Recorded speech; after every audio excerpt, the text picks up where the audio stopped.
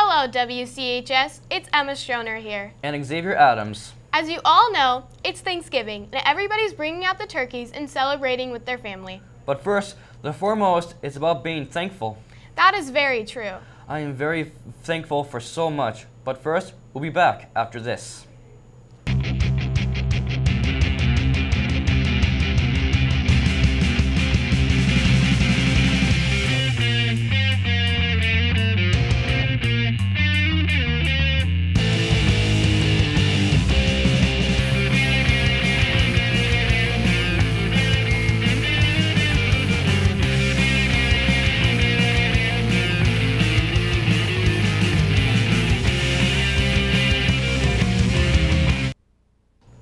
I know one of the things I'm most thankful for is food. Agreed. After all, it is one of the best things about this time of the year. Do you have a favorite Thanksgiving food? Although this is a very popular opinion, I would have to say the turkey. I like the side dishes, like stuffing or cranberry sauce. They often go underappreciated. That's true. I guess I never really thought about the side dishes feelings. Florence is going to bring our attention to one of these side dishes. Good morning, WCHS. We're here in my kitchen, and you know that Thanksgiving is right around the corner. And we know it's about being thankful, but deep down inside, it's 10 out of 10 all about the food. So today, I'll be showing you how to finesse mashed potatoes. So first, you're going to grab your potatoes and a cutting board and a knife or potato peeler. Then, when you're done peeling your potatoes, put the potato peels in a plastic bag. Then cut your potatoes into fourths. Make sure you are being careful cutting the potatoes. When done, put your potatoes in a bowl and wash them, then place them into a pot. Next, you are going to place water into the pot and fill the pot until the potatoes are covered. Make sure you clean up any mess you make. Place your pot on a stove. Put the stove on high heat. Then, when done, put potatoes into a colander to get the water out. You can use a whisk or a potato masher to mash your potatoes.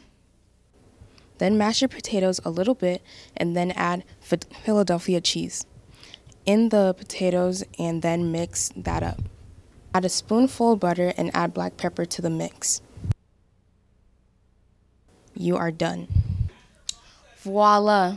I hope you enjoyed the finessing of my mashed potatoes, and I hope you bring it to your table Thanksgiving. Thank you for watching. This has been Florence York reporting for WCTV. Wow, I'm sure going to try making those potatoes now. Yeah, me too. It's going to be a great dish to bring to Thanksgiving dinner. Besides food, what else are you thankful for, Xavier? I'm thankful for my family. They are very caring and loving. I'm very thankful for my family as well. From day one, they have been very supportive and providing. I heard there is a wide variety of people who have different things they are thankful for throughout the school. There is so much to be thankful for this holiday. Dylan has caught up with some people from WCHS to see what they are thankful for this Turkey Day.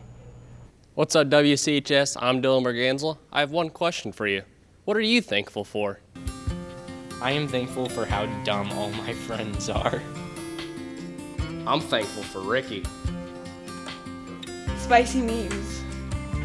I'm thankful for my friends and family and everything they've done. What I am thankful for is my dad being in the Navy and serving for everyone to be the rights in America. All right, I am thankful for the great friends and family I have in my life.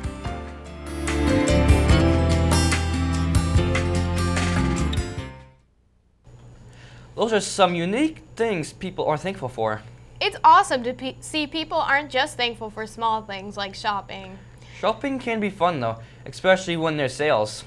Sales. Wait a minute. Tomorrow's Black Friday. I totally forgot. Black Friday? What is that? Honestly, it's been a while since I've been Black Friday shopping. Mackenzie has a feature all about Black Friday and people's experiences during the busy day to refresh our memory.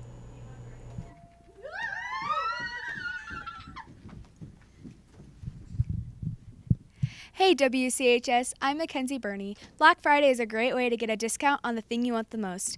I've caught up with three WCHS students to see what they got on Black Friday. When Black Friday shopping, I like to go with my mom and dad, as well as my significant other and friends. I had to wait in a line for an hour because I was getting a gift, a video game for my sister. I normally go to Kohl's or TJ Maxx. The cheapest thing that I can remember buying was a watch, and it was definitely $32, and it was so worth the purchase. No, I do not enjoy the chaos because it's just really crazy and people push a lot. I specifically go to those stores because I can always find really good deals and I like it. No, I have never been Black Friday shopping out of state, but if I were to, I would either go to Arizona to buy a cactus or Florida to buy a palm tree. My family likes to go to Walmart. They, they have basic good sales, good clothes, shoes. Worst thing that I bought was a dress. It was $50 and it did not look good on me and I just hated it, so. Wow, they sure do have some interesting stories about their Black Friday experience. This has been Mackenzie Burney reporting for WCTV. Thank you, Mackenzie. Although Black Friday is coming up, what else is Xavier? There is no school today, the 22nd, or tomorrow, because it is Thanksgiving break. This year seems like it's been going on forever, and it's only Thanksgiving. I know. I really need a break. I have a lot of things, uh, uh, studies, and lots of homework. Need something to pep up your studies? The Media Center has you covered. Popcorn will be served for 25 cents a bag. Tasty. What days will it be served? Every Friday, so it's definitely something to look forward to. Along with pepping up our studies, we need to also pep up our school spirits for winter sports starting. You got that right. We will have a lot of games this upcoming week. On Saturday, the 24th, there will be a girls' 9th JV and varsity basketball game in Boone at 12 p.m. And at home, there will be a 9th girls and boys basketball games against Iowa Falls Alden at 6.30 p.m. on Monday the 26th. On Tuesday, there will be JV and varsity boys and girls basketball games at Pocahontas beginning at 4.30 p.m.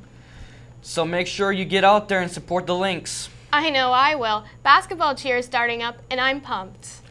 On Wednesday, November 28th, at 7.45 p.m., there will be a Shift Happens meeting at the Intandrum workspace. It is open to any students in 9th grade through 12th grade. Any student who wishes to join us is welcome. Our students are really getting out there. In sports and academics alike. Two of our Lynx Two of our Lynx seniors have made Iowa Prince Writers Association All-State teams. Both in Class 3A, Dylan Steen is a first-team defensive back and Austin Lippman is, third, is a third-team offensive lineman. Hopefully they won't actually be playing outside. It's going off the recent weather. It's going to be continue to be a cold, out, cold one out there. It has been cold this November so far, and I'm sure it'll continue to be this holiday weekend. Let's see exactly how cold it will be with ex Zach.